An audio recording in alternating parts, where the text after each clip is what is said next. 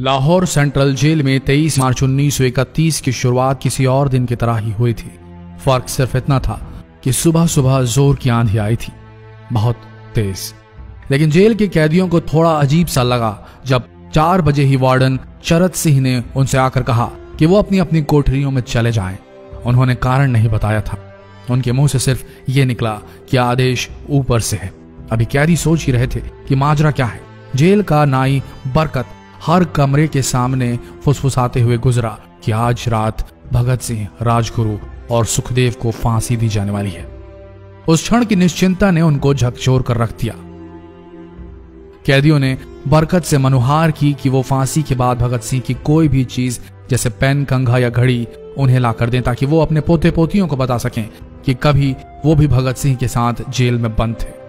बरकत भगत सिंह की कोठरी में गया और वहाँ से उनका पेन और कंघा ले आया। सारे कैदियों में होड़ लग गई कि किसका उस पर अधिकार हो। आखिर में ड्रॉ निकाला गया। लाहौर कॉन्स्पिरसी केस अब सब कैदी चुप हो चले थे। उनकी निगाहें उनकी कोठरी से गुजरने वाले रास्ते पर लगी हुई थी।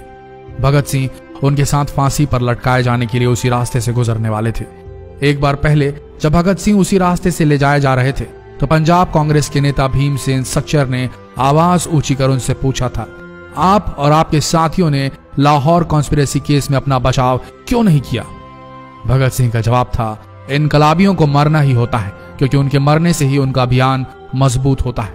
अदालत में अपील से नहीं। वार्डन शरद सिंह भगत सिंह के खैर ख्वाह थे और अपनी तरफ़ से जो कुछ बन पड़ता था, उनके लिए किया करते थे।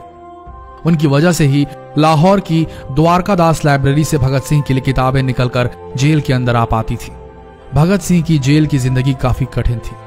किताबें पढ़ने का शौक हो चला था उन्हें कि एक बार उन्होंने अपने स्कूल के साथ ही जयदेव कपूर को लिखा था कि वो उनके लिए काल लिबनेख्त की मिलिट्रिज्म, लेनिन की लेफ़्ट विंग कम्युनिज्म और ऑप्टन सिंक्लेयर का उपन्यास द स्पाई कुलबीर के ज़रिए भिजवाएँ।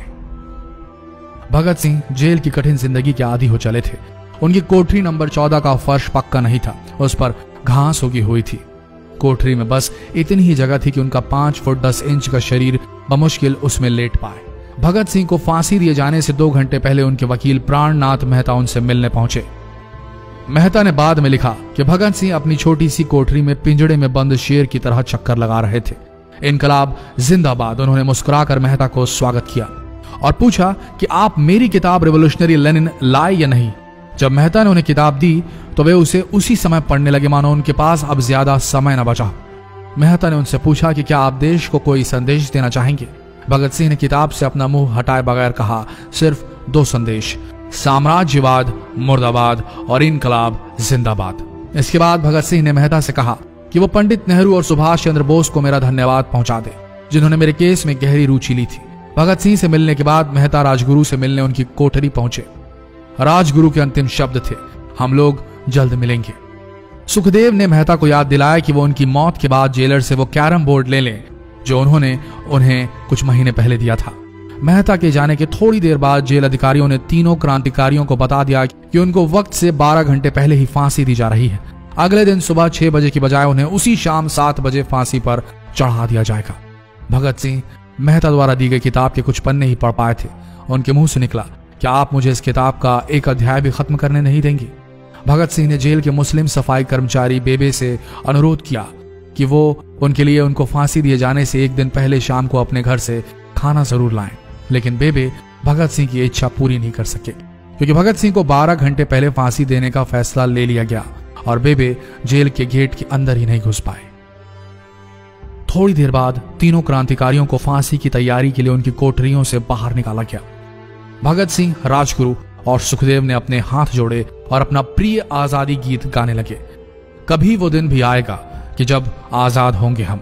या अपनी ही ज़मीन होगी, या अपना आसमान होगा। फिर इन तीनों का एक एक करके वज़न लिया गया। सबके वज़न बढ़ गए थे। इन सबसे कहा गया कि अपना आखिरी स्नान करें। फिर उनको काले कपड़े पहनाए गए, लेकिन उनके चेहरे खुले रहने दिए गए। चरत सिंह ने भगत सिंह के कान में फुसफुसा कर कहा कि वाहे गुरु को याद करो। फांसी का तख्ता भगत सिंह लिए बोले, पूरी ज़िंदगी मैंने ईश्वर को याद नहीं किया। असल में मैंने कई बार गरीबों के कलेश के लिए ईश्वर को कोसा भी है। अगर मैं अब उनसे माफ़ी मांग लूँ तो वो कहेंगे कि इससे बड़ा डरपोक कोई नहीं। इसका अंत नज़दीक आ रहा है, इसलिए ये माफ़ी मांग रहा है। जैसे ही जेल की घड़ी ने छह बजाया, कैदियों ने दूर से आती कुछ पद चांपे सुनी। उनके साथ भारी बूटों के ज़मीन पर पड़ने की आवाज़ें भी आ रही थी। साथ में एक गाने का भी दबा स्वर सुनाई दे रहा था। सरफरोशी की तमन्ना अब हमारे दिल में है। सभी को अचानक ज़ोर ज़ोर से इनकलाब जिंदाबाद और हिंदुस्तान आज़ाद हो किनारे सुनाई देने लगे। फांसी का तख्ता पुराना था, लेकिन फांसी देने वाला काफ़ी तंदुरुस्त। फांसी देने के लिए मसीह जल्लाद को लाहौर के पास शाहदरा से बुलवाया गया था। भगत सिंह इन तीनों के बीच में खड़े थे। भगत सिंह अपनी माँ को दिया गया वो वचन पूरा करना चाहते थे कि वो फांसी के तख्ते से इनकलाब जिंदाबाद का नारा लगाएँगे। लाहौर जिला कांग्रेस के सचिव पिंडी दास सोंधी का घर लाहौर सेंट्रल जेल से बिल्कुल लगा हुआ था। भगत सिंह ने इतनी ज़ोर से इनकलाब जिंदाबाद का नारा लगाया कि उनकी आवाज़ सोंधी के घर तक सुनाई थी। उनकी आवाज़ सुनते ही जेल के दूसरे कैदी भी नारे लगाने लगे। तीनों युवा क्रांतिकारियों के गले में फांसी की रस्सी डाल दी गई। उनके हाथ और पैर बाँध दिए गए। तभी जल्लाद ने पूछा, सबसे पहले कौन जाएगा? सुखदेव ने सबसे पहले फांसी पर लटकने की हामी भरी। जल्लाद ने एक एक कर रस्सियाँ खींची और उनके पैरों के नीचे लगे तख्तों को पैर मारकर हटा दिया। काफ़ी देर तक उनके शव तख्तों से लटकते रहे।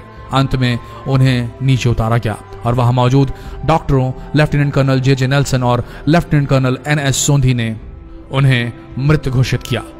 एक जेल अधिकारी पर फांसी का इतना असर हुआ कि जब उससे कहा गया कि वो मृतकों की पहचान करें तो उसने ऐसा करने से इनकार कर दिया। उसे उसी जगह पर निलंबित कर दिया गया अंग्रेज़ों द्वारा। एक जूनियर अफसर ने यह काम अंजाम दिया। पहले योजना थी कि इन सब का अंतिम संस्कार जेल के अंदर ही किया जाएगा, लेकिन फिर यह विचार त्यागना पड़ा। जब अधिकारियों को आभास हुआ कि जेल से धुआँ उठते देख बाहर खड़ी भीड़ जेल पर हमला कर सकती है, इसलिए जेल की पिछली दीवार तोड़ी गई। उसी रास्ते से ट्रक जेल के अंदर लाया गया और उस पर बहुत अपमानजनक तरीके से उन शवों को एक समान की तरह लाद दिया गया। पहले तय हुआ था कि उनका अंतिम संस्कार रावी के तट पर किया जाएगा, लेकिन रावी में पानी बहुत ही कम था। इसलिए सतलज के किनारे शवों को जलाने का फैसला लिया गया। उनके पार्थिव शरीर को फिरोजपुर के पास सतलज के किनारे लाया गया। तब तक रात के दस बज चुके थे। इस बीच उप पुलिस अधीक्षक कसूर सुदर्शन सिंह कसूर गाँव से एक पुजारी जगदीश अचरज को बुला लाए। अभी उनमें आग लगाई ही गई थी कि लोगों को इसके बारे में पता चल गया। जैसे ही ब्रितानी सैनिकों ने लोगों को अपनी तरफ़ आते देखा, वो शवों को वहीं छोड़कर अपने वाहनों की तरफ़ भागे। सारी रात गाँव के लोगों ने उन शवों के चारों ओर पहरा दिया। अगले दिन दोपहर के आसपास जिला मजिस्ट्रेट की दस्तखत के साथ लाहौर के कई इलाकों में नोटिस चिपकाया गया, जिसमें बताया गया कि भगत सिंह सुखदेव और राजगुरु का सतलज के किनारे हिंदू, सिख रीति से अंतिम संस्कार कर दिया गया है। तो ये थे भगत सिंह की ज़िंदगी के वो बारह आखिरी घंटे। आशा करते हैं इस वीडियो में सुनाई गई ये कहानी आज युवा पीढ़ी के दिलों में मर चुके देशभक्ति को जगाने में कामयाब होंगे। जितना हो सके इस संदेश को पूरे देश में पहुंचाएँ। इस वीडियो को शेयर करें फेसबुक पर व्हाट्सएप पर।